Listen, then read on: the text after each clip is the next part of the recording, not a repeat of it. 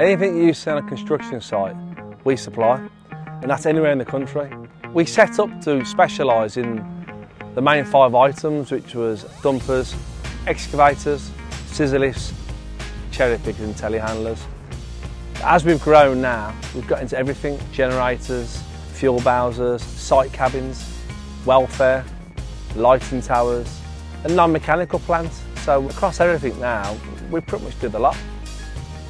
Because the range we offer is so huge, we now deal with everybody, obviously mainly construction sites, but we're now dealing with schools, colleges, training centres, local authorities.